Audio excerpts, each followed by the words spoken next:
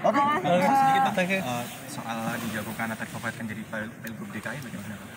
Ah, itu saya juga nggak tahu dari mana. Saya pernah wawancara di Trans TV. Ada teman-teman media yang mengatakan bahwa eh, rencana Pasya ini gimana? Eh, saya katakan kepada prinsipnya kami ini kader siap ditempatkan di.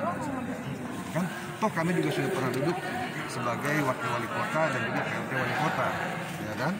Kota Palu. Nah pun kalau kemudian eh, dalam proses demokrasi khususnya pilkada ini memang ada apa namanya arahan ataupun rencana pan untuk mendorong kader, ya saya tidak tahu kadernya siapa.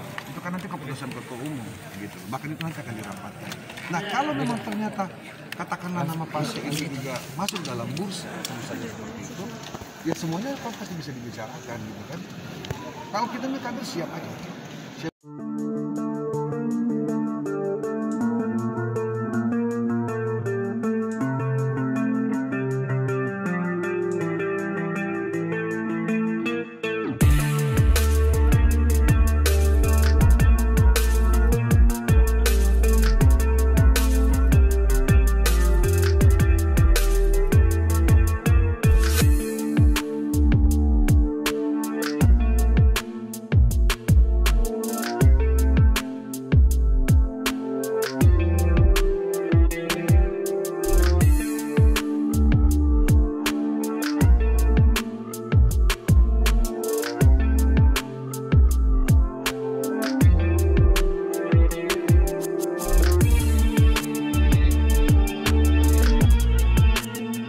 Terima kasih sudah nonton.